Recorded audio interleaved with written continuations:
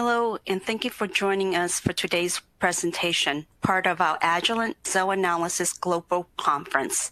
My name is Justine Ho. I'm the West Coast Field Application Scientist in the Cell Analysis Division at Agilent, and I will be your host for today.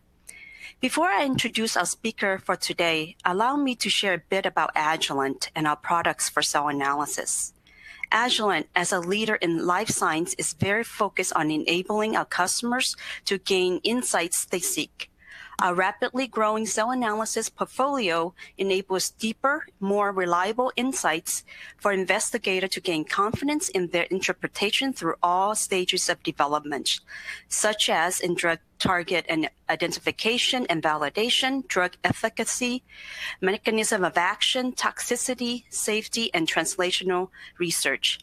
This is critically important to open new avenues of therapeutic intervention and expand drug discovery pipeline. Our presentation today will speak specifically on how Agilent's technology are being employed in drug discovery. It is my pleasure to introduce today's speaker who I've gotten to know for many years, Dr. Joy Fan, Principal Scientist from Gilead Science. Joy will present on the mechanism-based off-target screening de-risk clinical development of antiviral nucleoside and nucleotides drugs. This is important research to advance our understanding of therapeutics and antiviral drug development, especially under this current global pandemic.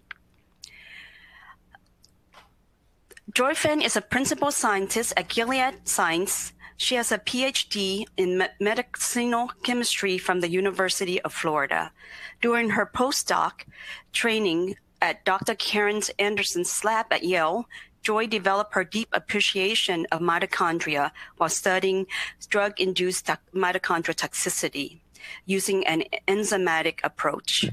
At Gilead, Joy continues to probe drug induced mitochondrial toxicity in addition to studying mitochondrial enzymes, she also used mitochondrial protein, cellular respiration, and other parameters to evaluate mitochondria toxicity.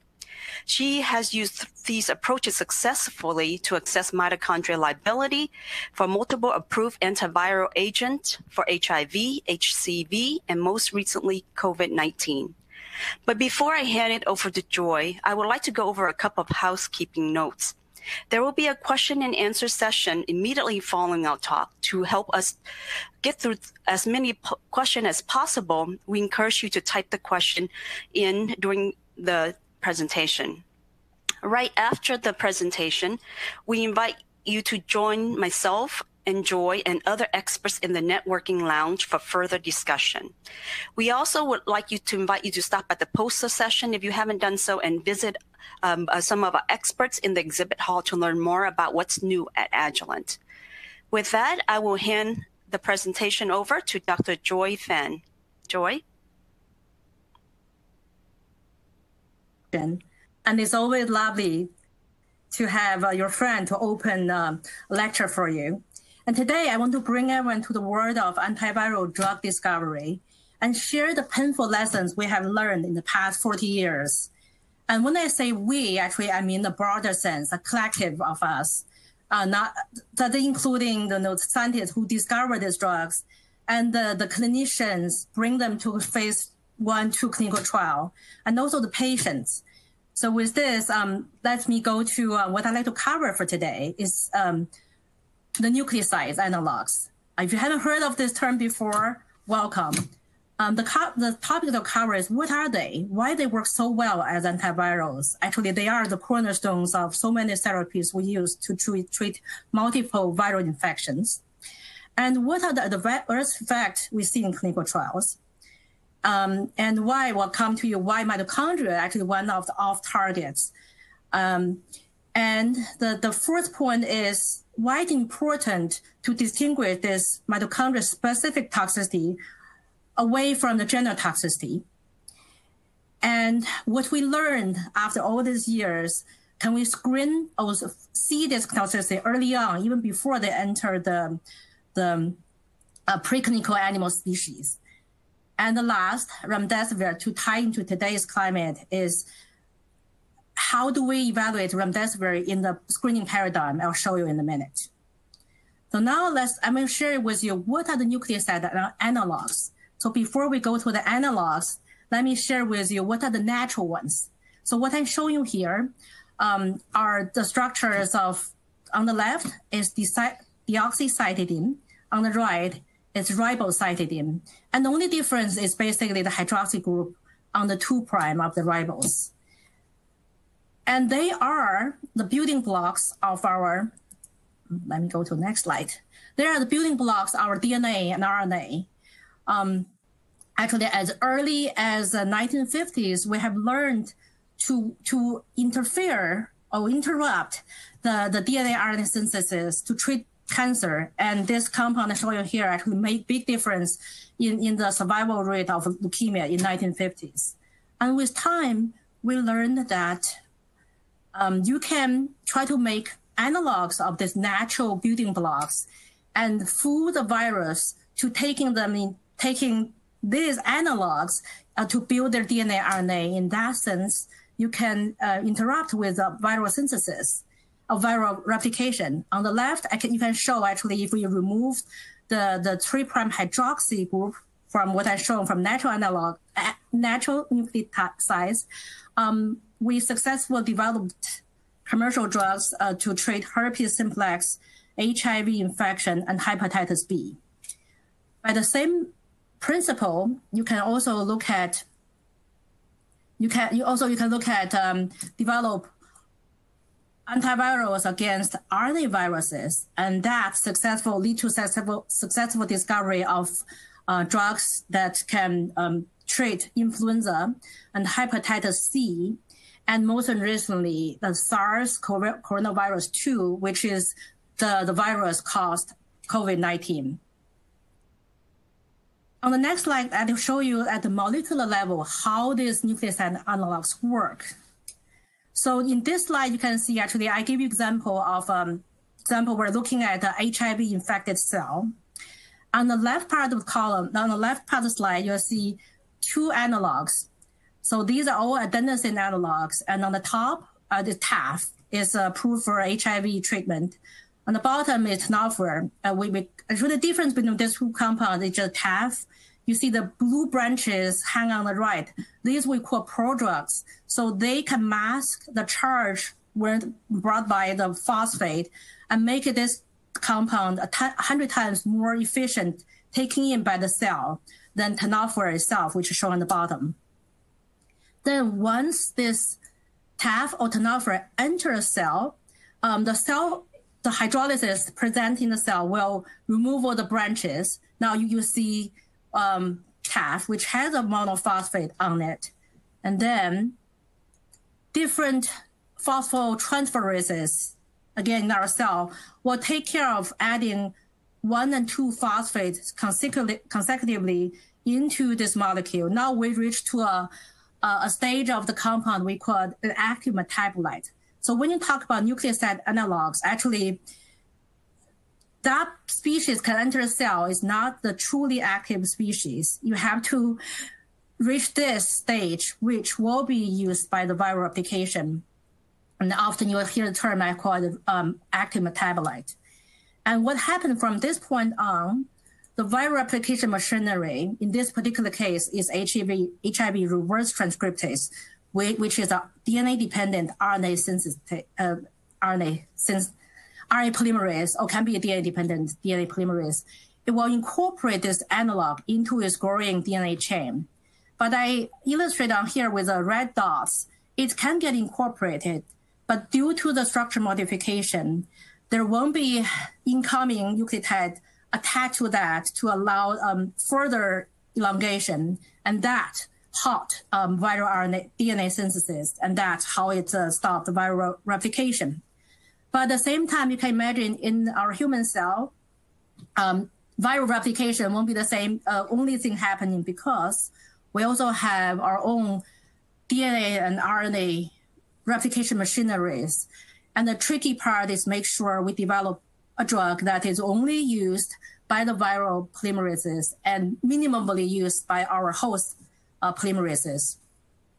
And that learn easy to say, but very hard to achieve. So on the next few slides, I'll share with you a few case studies of the painful failures we have encountered over the past 40 years. Um, great, gratefully, we learned from this, but let me share with this you. The first one is FIAU. It, this compound showed minimal toxicity in preclinical animal species and showed didn't show any toxicity during phase one, and only during phase two that you can see um, one patient developed liver toxicity shock and lactic acidosis. I think for you guys who work with um, cellular respiration, probably hope that would give you some hint. And then there are more patient developed toxicity, so the, the clinical development stopped because of this, many groups that work on this, try to figure out what the bottom line, what, what's the cause of the, this toxicity, or what is off target for this compound. And um, after many groups work together, we learned that mitochondrial DNA polymerase is a primary off target for this compound. So we start to implement assays to evaluate that, look at look at the mitochondrial DNA content, look at uh, the incorporation and inhibition of mitochondrial DNA polymerase. So we thought we solved this problem and we can move forward. Uh, but then 20 years later, when we develop HCV antiviral, uh, bear in mind the first example I showed you earlier, we're treating with a DNA virus. But this one, we are treating RNA virus now. And this compound, again, um, in phase two trial, showed severe toxicity in one patient. This time it's not liver toxicity, it's not lactic acid, but it's heart and kidney. And the clinical trial stopped. So we look back and it's kind of baffled to us because the, the lessons we learned from the previous one uh, didn't seem to help us because look at mitochondrial DNA, it didn't seem to touch mitochondrial DNA. But actually the, the following work from my group and that group show that in this particular case, it's mitochondrial RNA polymerase get uh, hit. What I show you is example here, but it's definitely not an isolated case because I want to show you a landscape um, once in a while. I mean, when we develop HCV nucleoside analogs. So you can see I have eight compounds here, and I'll show you the fate of them. All of them entered uh, phase one. I mean, most of them entered phase two. And then let's see what happened. So only one compound, sulfosphere, sulfosphere, um, get approved as an HCV, and actually now it's being used. And the the the fact we can reach 99% cure of the HCV patient, really this compound um, act a great role in the combination against a cocktail treatment. But you can see the one in the blue, they are they fail due to um, inefficient uh, PK. But what's shown on the bottom, all the ones circled in red, they fail due to toxicity. And you can see the toxicity quite diverse from liver toxicity to hematologic um, to heart, kidney, and GI. So when we look at dif different toxicities that um, made us to went back to look at the early HIV antivirals, right? Even though we already know mitochondrial toxicity, mitochondria is the target there. But look at all the plethora of different uh, clinical representations. Heart, you know, neuropathy, deafness, lactic acidosis. So um, at that time, imagine you're in the 1980, early 1990s. Look at this toxicity and say, what is going on? Um, but someone really made a connection here. It's basically made out to look at, compare the phenomenon we see in nucleoside analog discovery in seeing clinic to the inherited um, mitochondria disease here. And you can see when you have a mitochondrial mutation or disease, you can see there's a very diverse toxicity, but when you link to the right, seems to they're connected. Um, actually, I, I, think that this is how it led us to the mitochondrial path uh, when I talk to toxicologists, I say, you know, um, we have all the ways to monitor toxicity in preclinical species. Why we um, it so seems so hard? And he he told me that he would rather work with a compound with general toxicity because he said, I can see them in my preclinical models, preclinical animal models. But when you work with mitochondrial toxicity, it's tough because it takes chronic exposure and the symptom often delayed. Um, and also there's rapid deterioration. You may not see anything to one point. Um, there's no point of return. We call the cliff effect. And this been, has been observed by many. So now um, to understand this one, I'd like to bring you to mitochondria to understand what is unique about mitochondria. To this group of people, of course, don't you remind um, mitochondria is so important in our cell biology. But what's unique about it, it has its own DNA. Um, so the, the, DNA also has own polymerase, but these polymerase are less efficient. I, I guess they're because they had more relevant to bacterial origin. Uh, is less sophisticated in terms of proofreading and recognize the, I guess, the fake nucleosides um, than our regular DNA polymerase replication machinery. And also there's mitochondria has multiple DNA copies. So in a sense, that's where the cliff effect comes from, right? In our cell-based assay, we found we can deplete mitochondrial DNA down to 15%, and then the cell still survives. You can see the ATP levels seem to be normal, but you have to reach a certain point, then the, the, the cell collapse. So now look at, now I share with the um, biology, unique biology of mitochondria. Let's look at what are the conventional ways we look at toxicity for when we develop drug for therapy. Often we have cellular system, we have animal models, and we go to human subject. And hopefully we can stop a drug before it's come to this step. But the cellular system, for a long time, we all use cancer-derived cells and culture in high glucose media. And that kind of just makes the cancer cells probably doesn't need to rely 100% on mitochondria at all because it has sufficient nutrients going on there. And the second one is animal models because purebred animals may not reflect the diversity in mitochondria uh, because many there is a portion of us population who, who had mitochondrial dysfunction but may not be symptomatic and only to stress the system enough to see this one. So over the years, learn from the failure or learn from the, the, the hurtful the harmful or the uh, hurtful failure we learned. So we developed the system. I've been testing the system over the years. Um, this is our the current screening paradigm for this class compounds in, in our group. It's basically we use biochemical assay to look at DNA RNA polymerases and see whether this nucleoside analog touch them. Second one, we look at the cellular level, and we use two types of cells, both the primary cells and immobilized cells, and we can learn different information from them. Then lastly, we go to the mitochondria level, look at um, the DNA depletion, the particular mitochondrial protein expression, and last, look at the functional assay, respiration. So now I'll go to each one and tell you the parameters we look for. So the first one is a biochemical assay. The biochemical assay will try to um, answer two questions. The first one, is the analog, it's a substrate for the human enzymes. The second one is analog is the inhibitor. And the two type of enzymes we look at DNA polymerases and RNA polymerases, and also depend on the inhibitor we study. For example, if we look at the DNA virus, we'll more focus on this one.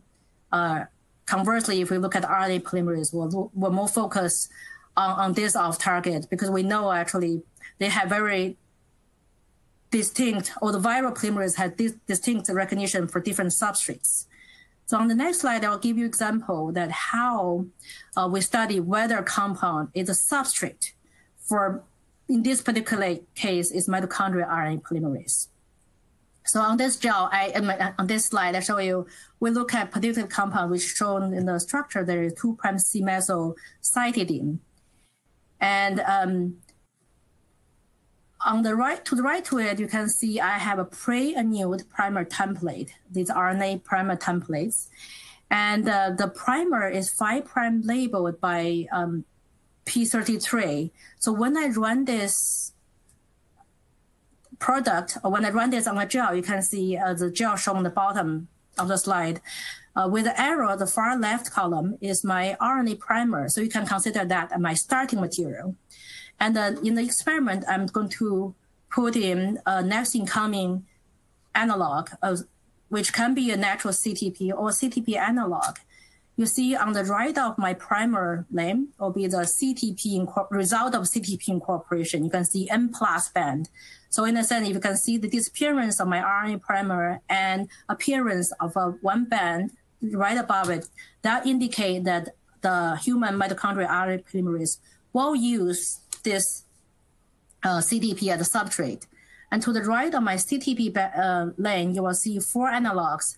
And in this particular case, all four of these analogs can be used by the mitochondria RNA polymerase. Um, of course, if I'm a drug developer, I won't be very happy, very happy with this result because ideally I don't want human mitochondrial RNA polymerase to use this. But also, it's a great way to tell me that these compounds I show here have uh, mitochondrial liability. Now I'll move away from biochemical assay to tell you about uh, how do we monitor a general toxicity at the cellular level. Uh, so in this particular one, we look at um, both the cell lines and the primary cells. And this kind of study we often do from 14, uh, 5 to 14 days because, as I mentioned, the mitochondrial toxicity can be seen chronic treatment. And um, the reason I use both cell lines and primary cells uh, is, is because in the cell lines, they're fast replicating cells and they are more, lots of times they're more sensitive to the mitochondrial toxicity. Actually, FDA guidelines for when you develop this class of compounds, they ask you to use, um, test them in fast replicating cells just to see that. The primary cells, we have like to get tissue relevance. Uh, you can see I use liver, kidney, blood, and bone marrow. Um, again, uh, when we use different nucleoside prodrugs, due to the cellular enzymes, you may see different degree of activation for different class, different compounds. So that's why we use both uh, primary cells and cell lines. And last, I'd like to move, move to the mitochondria focused. From the previous slide, you can see um, what I can measure only the CC50. But the question is whether the compound is a general toxicity, a general toxin, or is mitochondrial toxin, because again, you can tell this, comp- this when a compound has different properties, we'll treat them differently. So now I look at mitochondria. And the two studies are focused on basically look at mitochondrial protein expression and mitochondrial respiration, which uh, many of you may have started to look at mitochondrial respiration uh, in your own lab.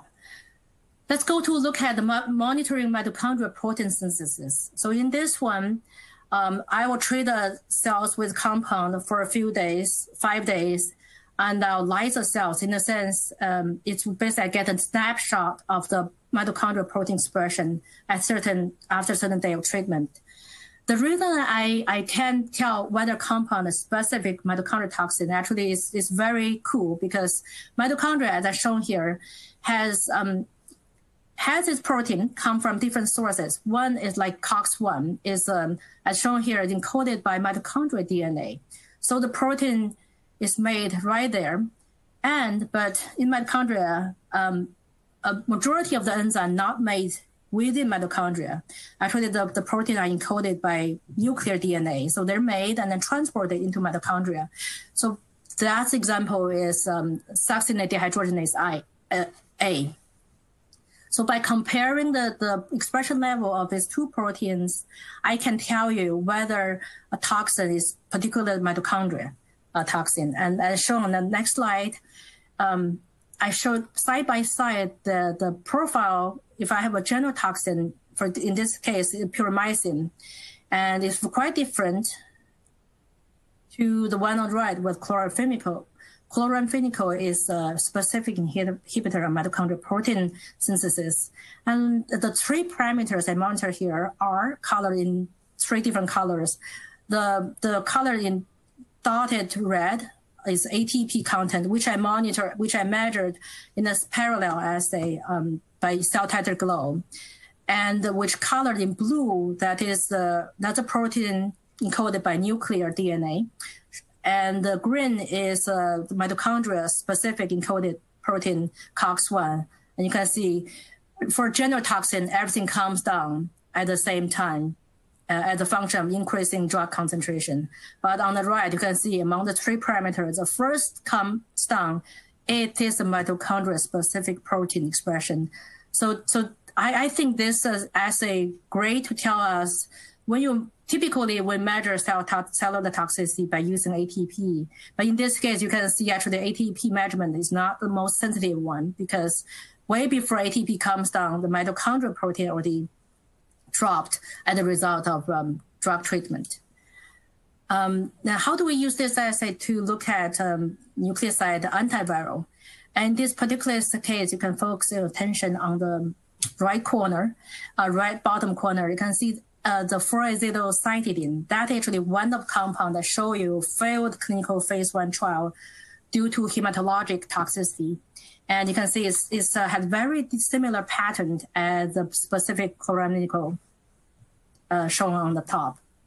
So next, I'd like to move to my one of my favorite um, instrument is monitor something can allow us to monitor live cells, look at mitochondrial respiration because mitochondrial function, we know you can have many ways to look at it, but really the oxygen consumption real time is a golden standard.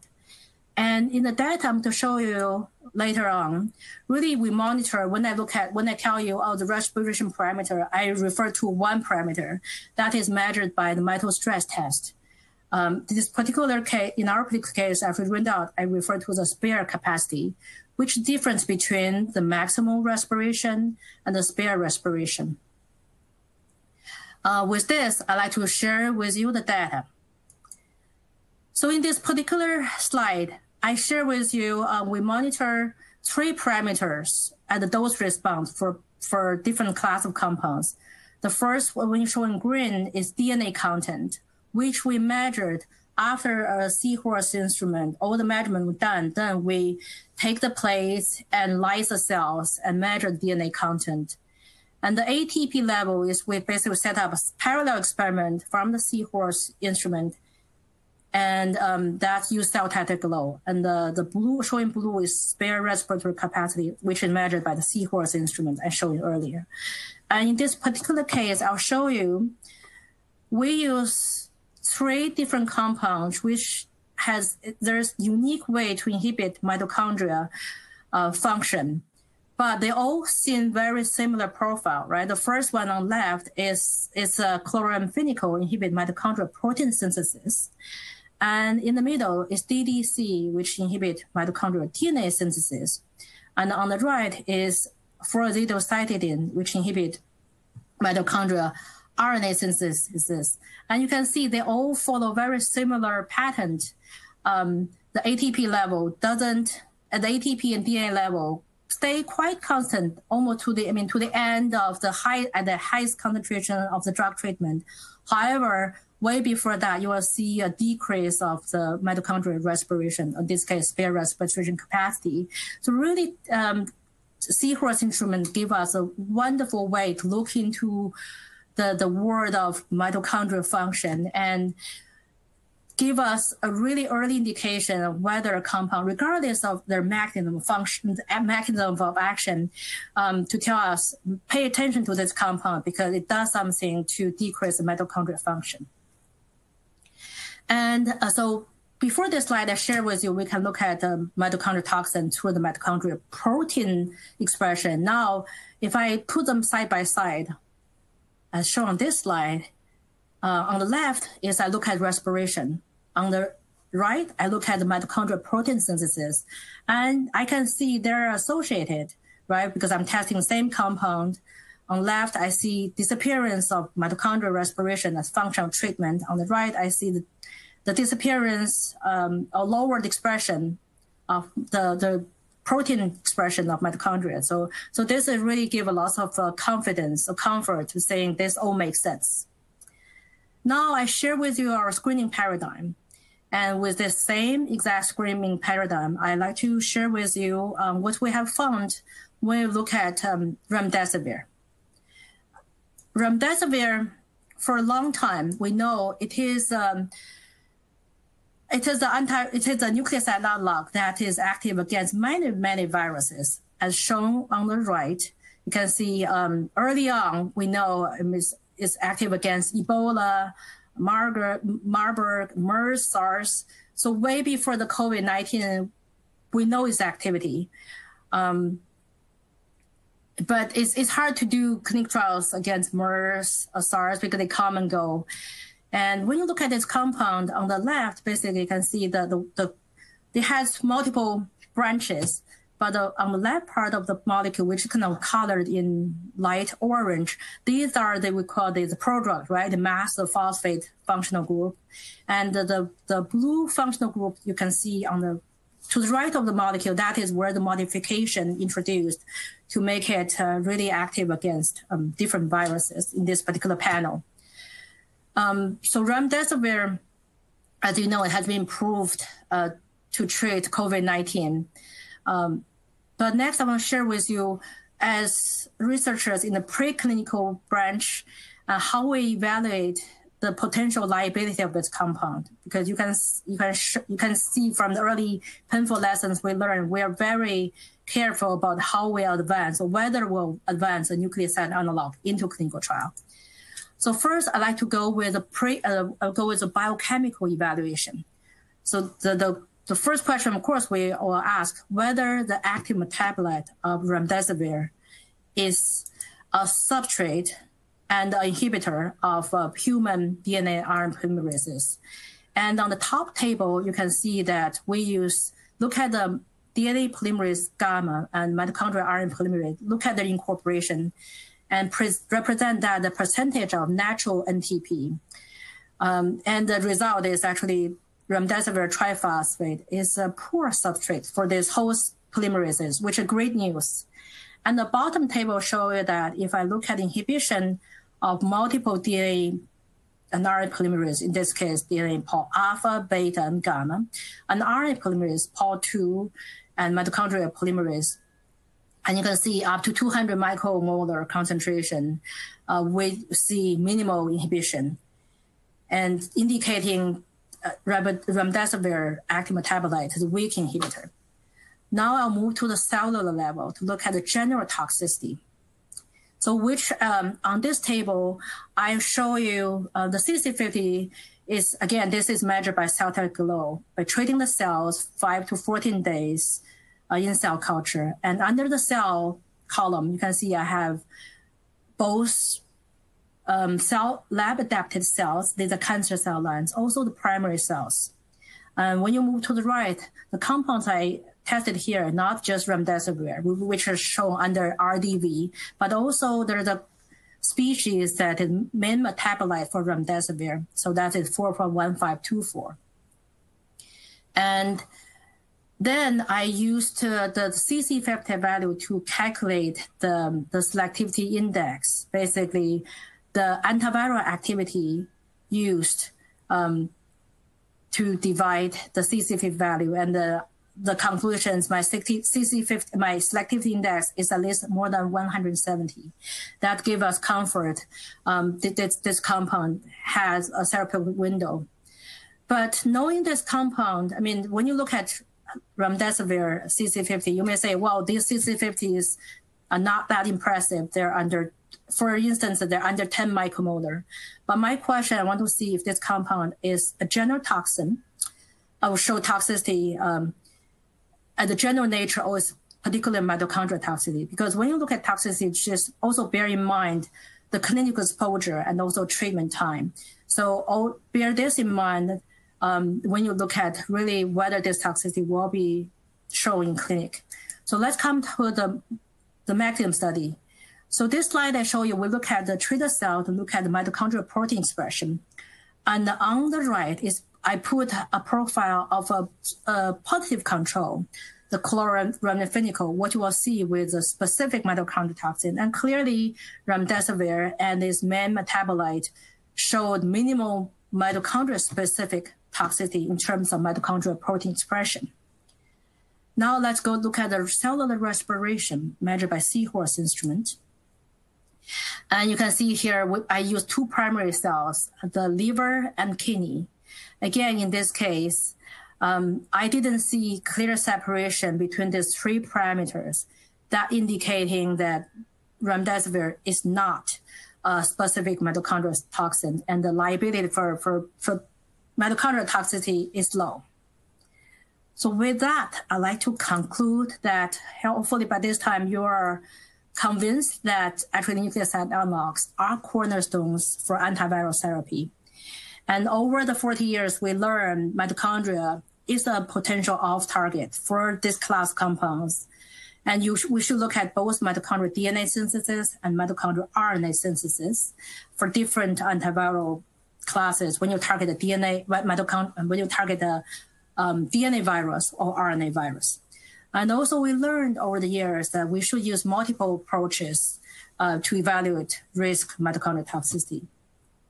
And um, cellular respiration really has been a wonderful and very powerful tool for us to assessing mitochondrial liability, especially when you do not know the precise off target, but just look at the functional readout, give us really good indication where we should follow up next. And last, I'd like to thank um, all the people helped us along the way. Um, Dr. Beeson, when we has been such a wonderful mentor collaborator. When we um, bought our first seahorse, first seahorse instrument eight years ago, uh, we talked to him, invited him to Gilead, and he, and he just has been such a warm and wonderful collaborator to work with. And Dr. Martin Brand and Dr. Um, David Nichols, they are instrumental for us to understand about energetics. Um, if you haven't been to the training, the on bioenergetics at Bach Institute, I highly recommend to you to go, because I remember the first year we went there, um, so many things went all over my head. And, but then after working with Seahorse Instrument for a few years, we went back again, and we have such deep, deeper appreciation of their knowledge. And I believe probably I should go back one more time just to take, take full advantage of their training. And Dr. Yvonne Weil and I haven't met her in person, but I read all of her publications. I still remember when I first tried to rally support to buy to buy our first Seahorse instrument, and I print out all her papers, um, and went to our VP and say, "Look at this! Look at what Pfizer had done," and I, I got them my instrument. So thank you, Dr. Weil. I'd also like to thank my Agilent Seahorse colleagues because when I look at them, they first come to us as really excellent scientists and wonderful collaborators. And after that, I mean, buying instrument and working with instrument is, is just a natural course. So thank you all for, for helping us along the way. And of course, last but definitely not least, I'd like to thank my colleagues at Gilead Sciences uh, Eli, in my mind, is the best horse whisperer in the world uh, because all the data you have seen on the seahorse instrument was done by her. And uh, thank you, Eli, for the partnership over the past so many years. With this, um, I welcome questions and comments.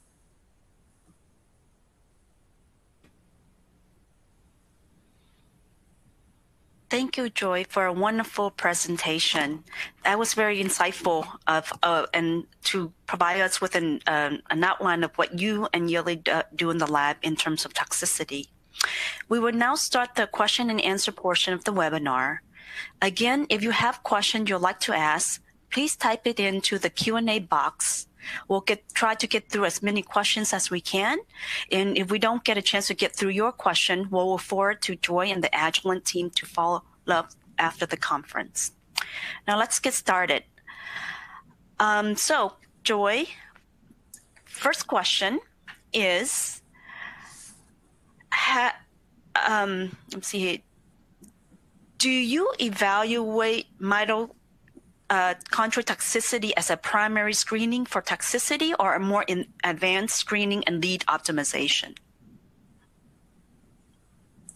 That's a great question. Um, I'll say the answer actually two parts. So when we have a nucleoside analog and when we found it is active against virus, so the biochemical assay, actually I'll call that the primary assay but we will not do, and then we'll, we'll do the general CC50, but the the mitochondrial function for the seahorse instrument will wait till much later on. So the primary assay, the biochemical assay, I'll say primary, but still following after we find the compound is active against the targeted virus. By virus. So not precisely primary, but a close secondary for the biochemical one. But for the mitochondrial part, I think uh, for the seahorse part, we'll wait probably the third step. Thank you. Uh, another question, um, and this is a more specific question. Um, for the spare respiratory capacity on slide 33 that you presented, what mm-hmm. was the incubation time of the cells with the drugs, uh, uh, chlorochloroquine, DDC, and the other drugs? Does, does the spare respiratory capacity response happen fast or slow? Um, okay. So slide 33, right? Am I getting that right? Slide 33. Okay. Um, what's a, so the question, what's the treatment time? Yes. Right? What is the incubation time of the cells with the drug? Okay. So all these are uh, three-day treatment. So, so okay. So actually, that's a great question in terms of time because we we did look at. Let me give you example of DDC. Um, so for, for this particular compound, we did look at the the, the signal uh, or the the phenotype and the function of time. And we found for for DDC particular, day one you, you won't see you won't see full decrease of the respiration, but by day five, the, the curves start to merge together. So the sweet spot is day three for DDC, and for for the for for azacitidine as well. So we we set three day treatment is is good enough. But let me try to remember if for chloramphenicol have we done a similar time course study? I'll, at this point, I'll say no. So that that's a answer the question, the, the portion of the time uh, portion. And what's the other? I think there's another question in that question. Justin, if you can remind me the uh, oh, it's just mostly a time course. Uh, the data yeah. pre- you presented in terms of the spare capacity. I guess um, the the uh, user wanted to understand how long you treated with the drugs. Three days. I think three days is the sweet spot. Yes. Okay. Yeah. Thank you. Yeah. No problem. Uh, another question. Um, you sh- you show that ATP level in some of the slides that you presented doesn't change, but there's a decrease in respiratory capacity. Um, is it due to a compensation through increase in glycolysis due to cell culture? That's what we believe so too. Actually, we have we, we can see that. I think India had data showing that um, increased glycolysis. Yes, precisely. I agree that the cell has a way to compensate for a shorter period of time. But yeah, I can actually, if you can still see my slide, which is slide 33, it is, if I look at this, so this time frame, this snapshot, you're looking at day three. But when I go to day five, everything will come down. So in a sense, the cell cannot go on forever. Uh, so by that time, you will see the ATP line, which in red, will come down as well. Yes. Okay. Um, and, and, here's another great question. Has any animal study been done looking at remdesivir toxicity? Yeah. Yes, yes, um, that has been done definitely, but it's, it's again it's a it's a therapeutic uh, window, uh, because when you look at uh, I, I believe in any anti in any therapy, I think it's really hard to find compounds just absolutely have no toxicity at all, but it's really the the, the, the window and it's also related to the, the treatment duration because, um, right, the pure treatment duration for, for COVID-19 is a five to 10 day treatment. It's, we're treating acute virus. So to answer your question, yes, we have seen toxicity in preclinical species, but there's enough window to um, encourage us to move forward. Okay. Uh, another question. Is there any other possible mechanism by which an antiviral uh, drug, the nucleoside analogs, cause mitochondrial dysfunction other than the mitochondrial gene expression or mitochondria DNA replication? Excellent question. Yes, I'm so glad you point this out because it's true. I mean, um, mitochondrial toxicity, the, the, the gene level, the protein level is definitely not the one and only a potential one for example, I'll give you a um, ram, see, ribavirin.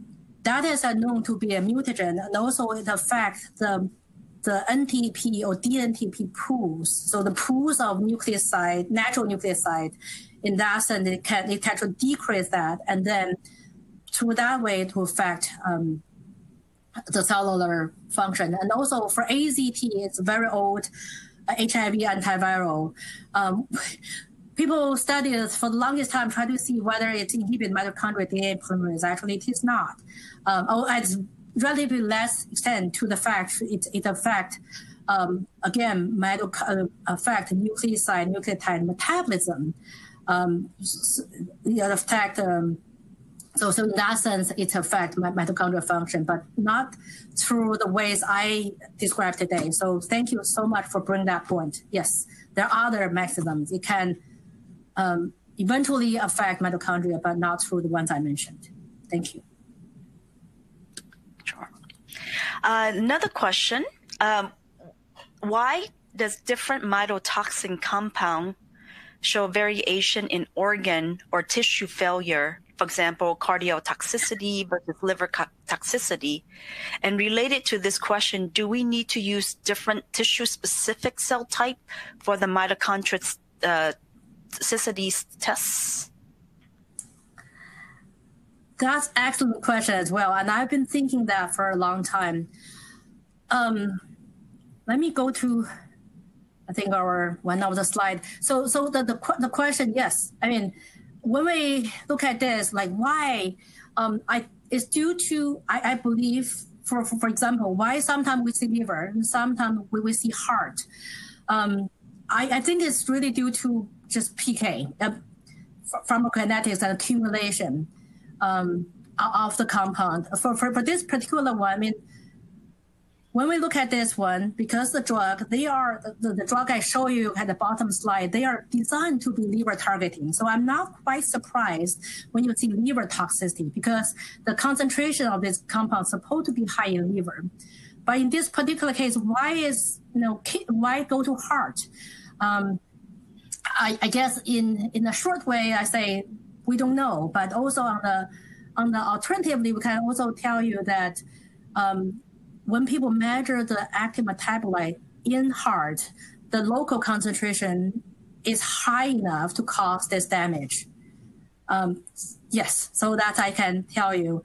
Um, oh, the other question, whether we look at the um, tissue-specific uh, cells, we have done that, and the result is not very helpful in the sense when we treat the cells we show particular kidney toxicity in kidney cells um, compared to other organ derived cells. We, we didn't that didn't give us really good correlation. Um, so I, I that's why I feel it's not that straightforward. Uh, that's why I feel the multiple layers of toxicity, uh, the multiple layers of screening helpful. And also, for example, if you come to me and say, Joy, I, you, you know this compound, you shown through your sequence data, you shown through biochemical assay, you show there's a mitochondrial toxin. Then can you predict if we put in human, I hope not, but if we put in human, what kind of toxicity will you see? And I cannot. Uh, that, that, that's a mystery. So I hope uh, probably we can work together to um, advance this as well. But to answer your question, it's very hard to predict which, which, tar- which tissue will hit. Um, totally understand. And um, along those lines, um, have you thought about uh, using, um, you know, there's in terms of the the stem cell world, where um, in 2006, uh, the ability to form more of like human-induced polypotent stem cells as a way to mimic more of a particular uh, uh physiologically relevant model um, to look at, for example, toxicity or cardiotoxicity, um, liver toxicity as a a tool that you may use um, to to to be more specific. I think, um, it, of course, it's hard to get specific cells from from um, humans or animal, but using more like um, human derived polypotent stem cells, I think, as a model. I definitely that I definitely think that the possibility, especially help uh, help us to understand. For example, we went to preclinical animal species and found certain specific tissue related one, and it's great to know that um, as well. And it's good to know ahead of time as well. But the question is how how extensive do you go? But I, I if people have ideas, I welcome. We can collaborate. We can look into this together. Okay, great. Um, and then one last question uh, before we end. Um, did you compare cellular respiratory results with other mitochondria toxicity assay, like glu- uh, glucose and uh, galactose or mitochondrial membrane potential? We didn't look at the mitochondrial potential one. That's a dye-based assay because I, I felt it's um, it's inferior than the, the seahorse instrument. But actually, we, we, we have done the galactose and glucose um, assay. And uh, so, in a sense, in that case, when you, so in theory, I mean, when, when you have galactose adapted cells, because they cannot go, switch to the glucose uh, pathway, so they will be more vulnerable to a mitochondrial toxin. It, it's, it's a great in principle, but when you look at, um, so first of all, as, as, far as I know, I mean, the, the, the, the, the poster child of the mitochondrial toxin, for example, DDC, the in the early drug discovery, DDC and um, other known mitochondrial toxins have been shown positive in that particular assay. Um, so I would say that assay may work great for other classes compound, for nucleoside, nucleotides. We haven't found a really nice correlation as a predictive as a parameter. Yeah. Okay, thank you again, Joy, for sharing your work with us today, and thank you uh, to our audience for your questions and participation.